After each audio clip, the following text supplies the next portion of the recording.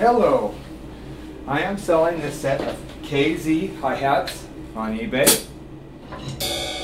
13 inch. Z on the bottom of course, K on the top. Great condition. Here we go.